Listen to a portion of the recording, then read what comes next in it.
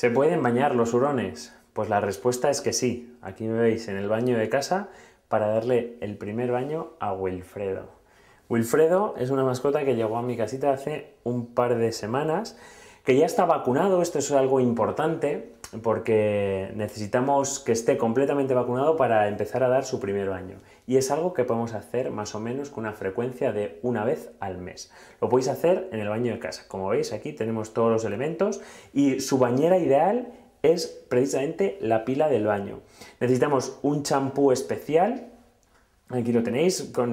Especial básicamente es que lleva el pH adecuado para la piel del hurón y además que neutraliza específicamente el olor corporal del hurón.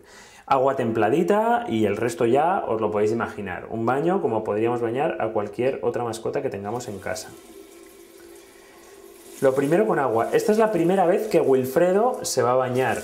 Por tanto, con un poco de cuidado para que no sea su primera experiencia, no sea demasiado traumática.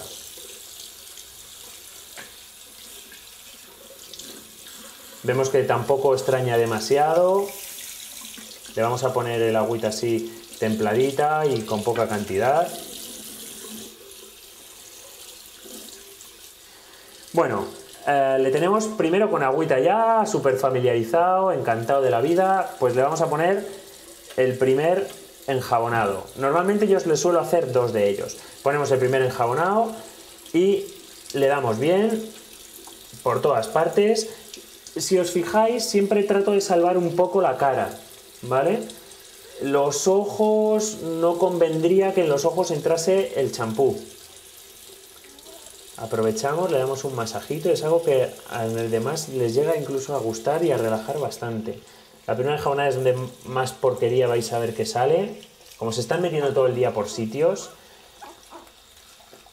acumulan bastante guarrería. Mm, el agüita que esté templadita, pero más bien tirando a fría, sobre todo en verano. Ahora estamos grabando el episodio en verano, yo no sé en qué estación lo vais a ver ni en qué país, pero normalmente un ser un poco lógicos, igual que para nosotros. En verano el agua eh, me gusta más que esté más fresquita, que en invierno quizá la podéis utilizar más calentita. Venga, pues tras este primer enjabonado vamos a darle el segundo ya, siendo ahí más generosos. Es importante frotar bien la zona del rabito, que es una de las zonas que más guarrería acumulan y en la que se forman lo que llamamos los puntos negros o poros negros. Es que a veces el, poro del, pelo mm, se llena de porquería y por eso eso le hace que no, que no le salga pelo. Y, en ocasiones eh, se les va quedando el, rabito pelado y, y lleno de porquería. Muy bien este se está aportando para ser su primer baño increíble, ¿eh? demasiado bien. Esto no es lo normal, ¿eh? Como se está portando el Wilfredo, fijaos aquí como le tengo, es que está disfrutando como un enano, mirar, le tengo aquí panza arriba dándose su, baño y, os puedo jurar que es la primera vez que este animal se mete en el agua, ¿eh? Pero, pero realmente disfrutan, parece una nutria, ¿eh? Es que realmente parece incluso que se va a quedar dormido, es que el tío está como una nutria, es increíble. ¿Cómo le gusta? Muy bien. Venga, pues ya le tenemos bien aclaradito. Es importante aclarar bien el champú por todas partes. Venga, pues cortamos agua y tenemos a mano una toalla y ahora enérgicamente con la toalla, él se lo va a pasar bien porque incluso juega, le arropamos aquí, le metemos la toalla y le damos unos cuantos masajitos si vais a utilizar el, secador para terminar de secarlo, que sea poco potente y desde lejos, ¿vale? Como os he dicho ya mil veces, el calor les va fatal a los hurones. Por último, podemos darle un ligero cepillado, ya depende del tipo de pelo que tenga el hurón. Además, este como es cachorrito ahora tampoco hace falta demasiado. Si es un hurón de pelo largo, de pelo angora, nos tendremos que entretener un poco más, pero si no, tampoco demasiado. Perfecto, más o menos está. Y su colonia, una colonia especial con un cham... Bueno, es un... realmente mm, lo, llamamos odor espera, aunque es, una colonia. Es un neutralizante especial también del olor del hurón y de las cacas del hurón, pero que huele, huele fenomenal. Perfecto, pues con esto queda el baño más o menos terminado, aclarado, súper bien, ya veis que no es nada complicado. Y nada, esperamos que hayáis aprendido mucho y que no necesitáis nada especial, simplemente lo que veis aquí, un champú y en el propio lavabo de casa, en el baño de casa, lo podéis hacer sin ningún problema, ¿vale? Así que nada, decimos adiós Wilfredo. Hasta luego.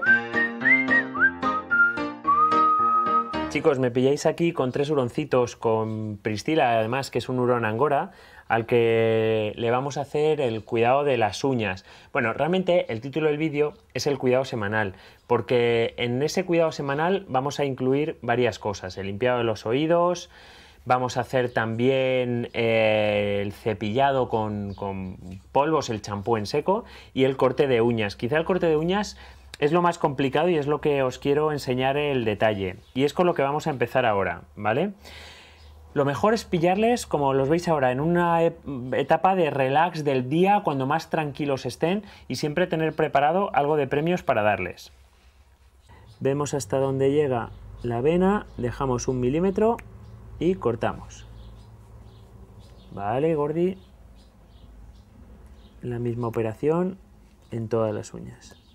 Incluso si os da apuro, también podéis, aunque es un poco más complicado, limarla. Se puede limar con una lija, una lima de uñas de persona. Otra de las cosas que debemos hacer es la limpieza de los oídos. Para los oíditos cogemos eh, cualquier limpiador auricular. Nosotros utilizamos el que tiene Cunipic especial para limpiar oídos de los hurones. Limpiamos bien, sujetándola por el pliegue. Veis que lo normal es que si se hace una vez a la semana, saquemos algo de porquería, pues igual la volvemos a sujetar del pliegue, la echamos el producto, vale Gordi, y venga, no protestes, ahí sin miedo, ¿veis cómo sale de porquería? Cuando estamos limpiando los oídos y de repente vemos que sale una cera muy abundante y muy negruzca, es causa prácticamente inequívoca de que existe una otitis y en la mayoría de los casos esa otitis está originada por unos ácaros que viven dentro del oído de los hurones. Entonces ahí sí que sería también importante desparasitar externamente a los hurones y que los llevéis al veterinario para que le eche un vistazo a esos oídos. A veces se forman unos tapones horrorosos. Venga, pues por último y para que veáis todo lo que les hacemos, la vamos a hacer una limpieza en seco, que es con un champú polvos en seco, por la que vamos a rociarla entera. Esto es, sabéis que el baño, que ya tenemos algún vídeo hecho de baño, miraros, pues está muy chulo el baño en, casa, eh, del hurón, se puede hacer nada más que una vez al mes. Pero sí que es verdad que una vez cada 10 días podemos utilizar este champú en seco, pues simplemente le ponemos los polvos y cepillamos tanto a favor de pelo como a contrapelo. Pues todas estas acciones además hay que hacerlas aprovechando que los hurones estén en un momento del día de, bajón, de medio dormidos, porque os va a facilitar la tarea. Si están con el subidón del juego, os va a costar muchísimo más. Perfecto, pues por fin nada, hemos terminado con la Pristila y ahora os voy a hacer un dibujo en el que vais a ver muchísimo mejor cómo cortarle las uñas a los hurones.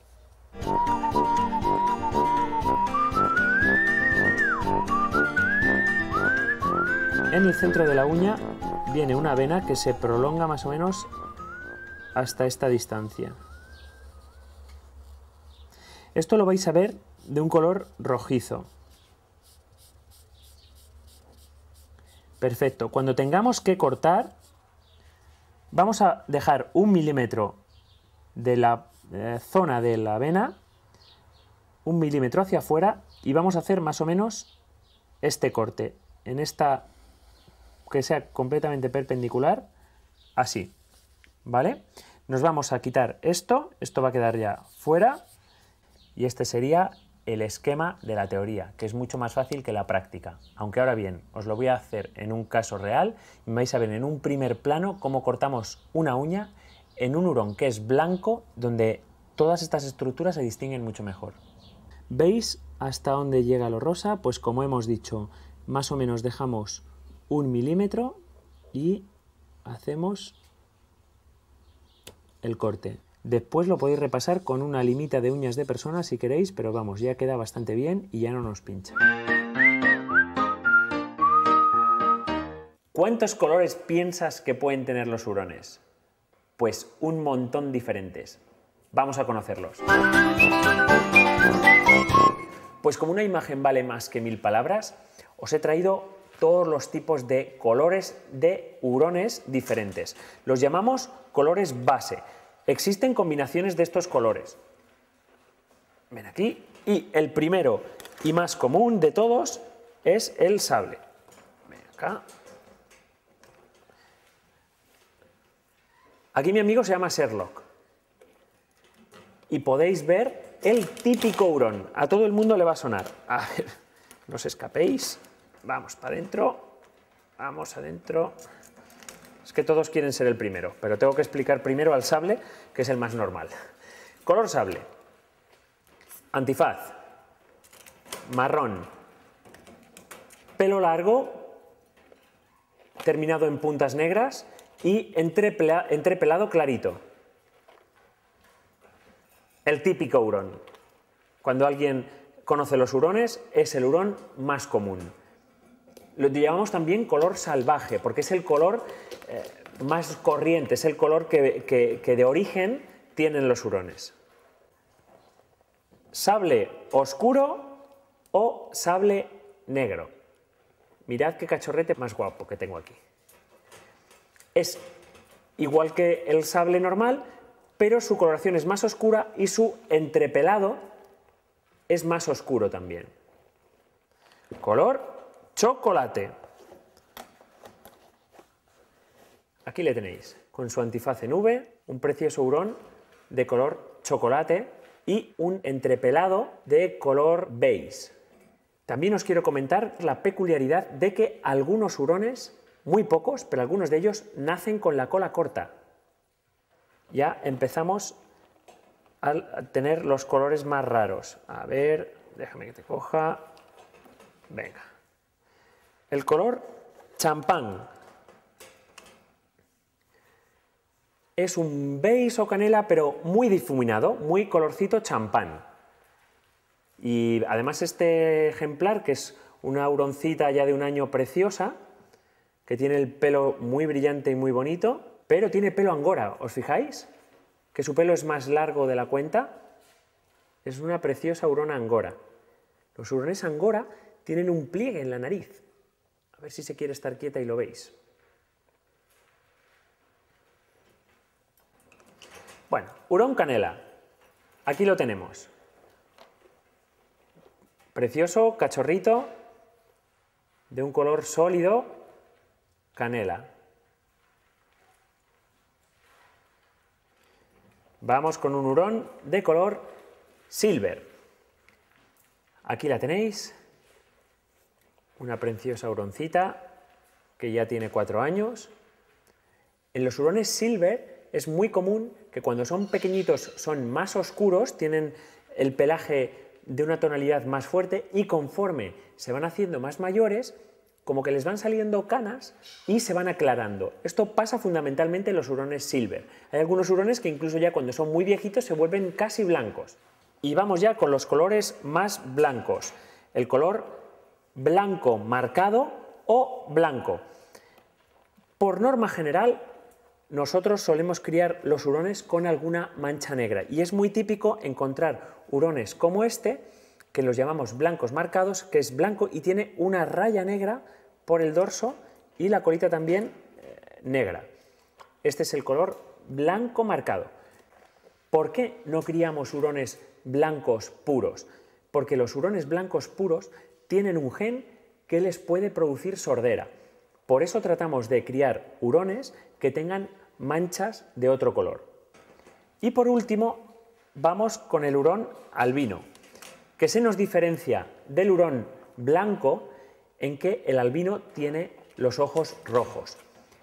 Entonces, un hurón albino, a ver chicos, que no podéis salir todos a la vez. Un hurón albino va a ser un hurón que carece de pigmento. Por tanto, vamos a ver que tiene los ojos rojos. Aquí lo tenéis. No tienen menos defensas que los demás, ni son peores hurones que los demás.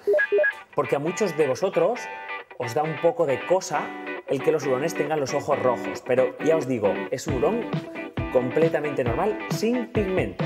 Pasa igual que las personas que son albinas.